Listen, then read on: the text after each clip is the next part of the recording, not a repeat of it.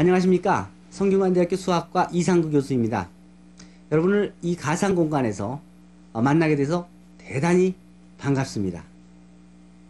앞으로 한 학기 동안 이 공간에서 선형대수학에 대해서 같이 진지하게 어, 논해 보도록 하겠습니다. 이번 첫 주에는 우선 선형대수학이라는 흥미있는 과목을 시작하며 이 과목의 유래와 발전 과정을 이해하고 이 과목의 목표 및 응용 범위를 생각해 본 후에 이 강좌 관련된 어, 다양한 자료의 소개 및 또 이용 방법에 대해서 설명하고자 합니다.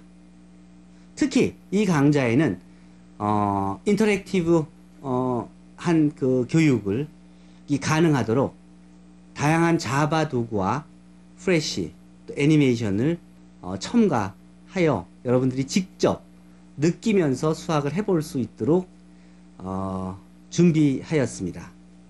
관련된 어, 자바 도구 페이지를 필요하실 시에는 수시로 이용하셔서 계산 과정의 번거로움을 조금이라도 줄이는데 어, 도움이 되었으면 합니다. 자, 본문에서는 선형대 수학의 출발점이라고 할 수 있는 연립 1차 방정식과 행렬을 어, 소개하고자 합니다. 이제 두 번째 주가 되었습니다. 자연과학이나 사회과학의 다양한 문제들은 쉽게 연립 1차 방정식의 문제로 바꿔놓을 수 있기 때문에 연립 방정식을 푸는 일은 매우 중요합니다. 첫 주에서 배운 연립 1차 방정식과 행렬의 관계로부터 어떻게 행렬을 이용하여 연립 1차 방정식을 쉽게 풀 수 있는지에 대해서 공부할 필요가 있는데 바로 이번 주에 이 행렬을 이용하여 연립 1차 방정식의 해를 구하는 효과적인 방법인 졸단, 어, 가우스 소거법과 가우스 졸단 소거법에 대하여 학습하도록 하겠습니다. 반갑습니다. 이번 주에는 행렬 시계에 대하여 생각해 보도록 하겠습니다. 행렬 시계에 대한 개념은 행렬이 소개되기 150여 년 전에 이미 널리 알려져 왔습니다. 그리고 오랫동안 연립 1차 방정식의 해를 구하는 기본적인 수단으로 이용되어져 왔습니다. 이제 정사각 행렬을 실수에 대응시키는 함수로서 행렬식을 정의하고 행렬식을 구하는 효율적인 계산법 및 행렬식의 다양한 응용에 대하여 설명하도록 하겠습니다. 우리 주위에는 온도, 시간, 길이, 높이 등과 같이 수만으로 완전히 나타낼 수 있는 크기만을 가지는 물리량이 있는가 하면 크기와 방향을 둘 다 가지는 물리량도 있습니다. 예를 들어 크기만을 가지고 배가 시속 10km로 항해한다고 하면 이 배가 어디로 가는지를 전혀 알 수가 없죠. 그래서 방향까지를 설정하여 배가 남쪽을 향해 시속 10km로 항해한다고 해야 이 배가 항해하는 것을 완전히 나타낼 수가 있답니다.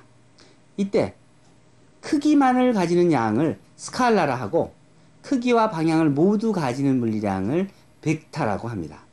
우리는 3차원 공간에서 이러한 벡타의 기본적인 성질을 알아보고 이러한 개념을 자연스럽게 n차원 공간으로 확장하고자 합니다.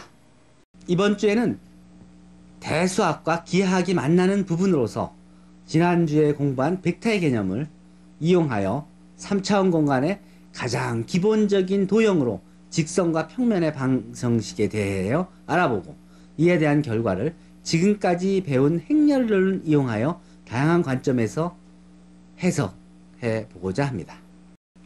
앞에서 배운 벡타의 합과 스칼라베가 갖는 연산 법칙은 여기에 그치지 않고 수학 체계의 일반적인 이론으로서 수학의 여러 분야에 적용됩니다.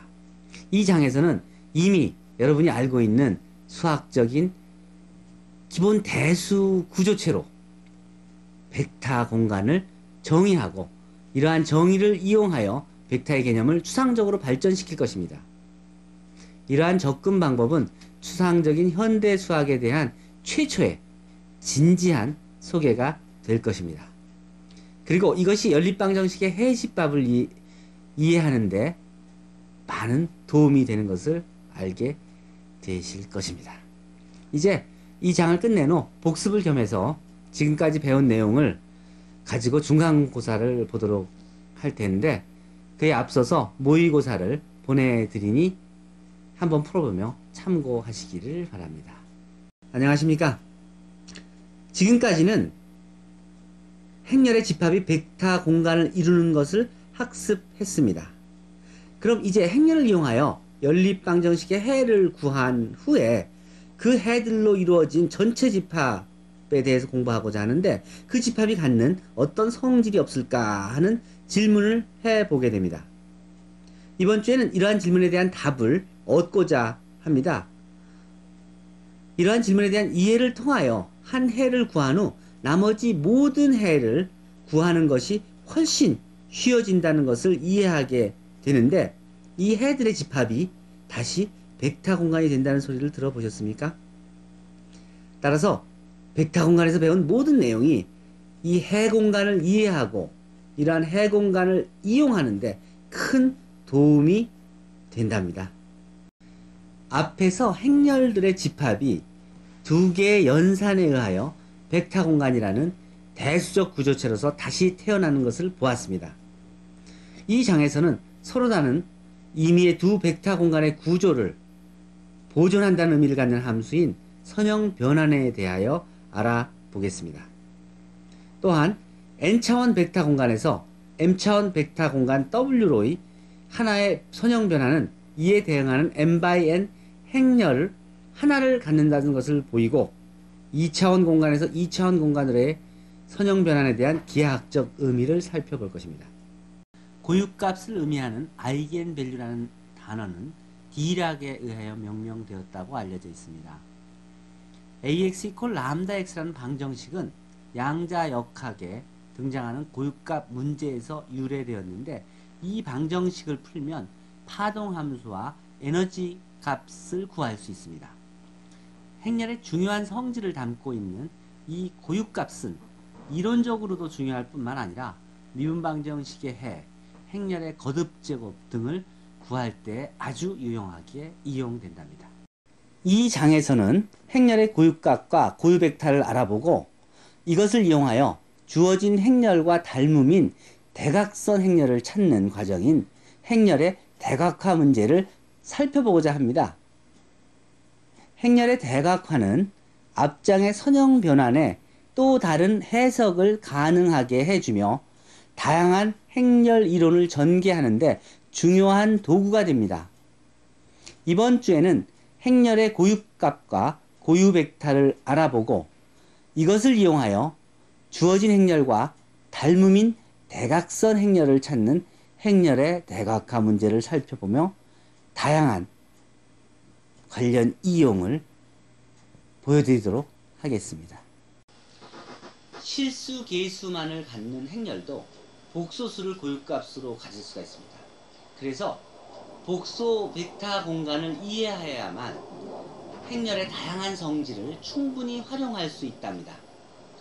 복소 벡터 공간은 실 벡터 공간과 매우 유사하지만 내적을 정의할 때는 좀 더 세심한 주의가 필요합니다. 복소 벡터 공간에서는 비로소 슈르 정리, 졸단 표준형 등을 이용하여 주어진 문제를 보다 쉬운 문제로 단순화하여 처리할 수가 있답니다. 일반적인 행렬을 대각행렬이나 졸단 표준형으로 바꾸어주면 전체적인 이론의 전개 과정이 단순화되어 같은 결론을 보다 쉽게 얻을 수 있답니다. 이제 졸단 표준형을 구하는 방법을 점도표를 이용하여 간단하게 소개하겠습니다. 이어서 행렬을 이용하여 기하학적 도형인 원뿔곡선을 표현하는 방법인 2차 형식을 소개하고자 합니다. 행렬을 기하학과 연결시켜주는 2차 형식의 이론은 앞에서 배운 내적과 고유값에 밀접하게 관련되어 있습니다. 또 해석계약이나 전기공학, 통계학 등 많은 분야에서 이용되기도 합니다. 특히 주어진 상황에서 최적의 해를 구하는 최적화 이론 옵티마이제이션은 2차 형식과 밀접하게 관계되어 있습니다. 여러분 그동안 많이 수고하셨습니다. 이제 마지막 14주 차 강의가 되겠습니다. 우리가 지금까지 배운 선형대 수학의 지식은 자연과학과 공학, 사회과학의 여러 분야에서 많이 활용된답니다. 이 장에서는 이산적인 자료로부터 원하는 근사한 연속함수를 유도하는 과정을 자세하게 설명하도록 하겠습니다. 또 지금까지 배운 내용이 실제로 주위의 문제를 해결하는데 어떻게 이용되는지를 보여주는 간단한 예들을 보여드리겠습니다. 일반적으로 주위의 문제를 수학적인 지식을 이용하여 해결하는 것은 우선 주어진 현상을 수식화하여야 가능한데 이 과정을 수학적 모델링이라고 합니다.